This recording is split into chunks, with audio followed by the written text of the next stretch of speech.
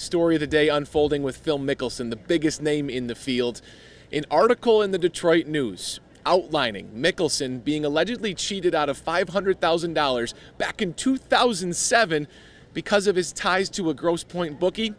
Well, the news wrote an article about that that Mickelson did not enjoy reading, didn't enjoy seeing it. He's happy to be here at Detroit Golf Club, but outlined on Twitter and then again here in person why he's not happy about that article.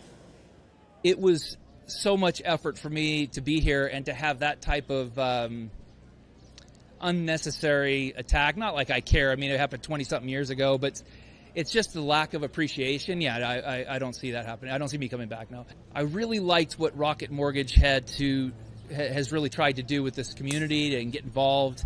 I felt like as the PGA champion, I would be able to bring some value and maybe help the tournament out. I feel that uh, Rob Snell made an article this week that was very opportunistic and selfish and and uh, irre- irresponsible. And you know, I was looking at some ways that my foundation might be able to get involved. And when you have a divisive voice like that, you can't bring people together. It's very hard to bring people together.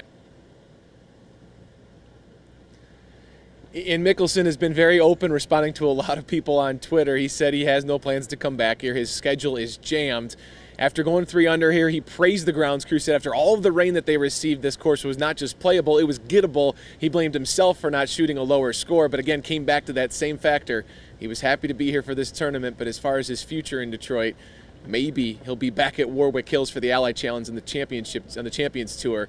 But his plans in Detroit are exclusively just for this week. A bummer how it unfolded.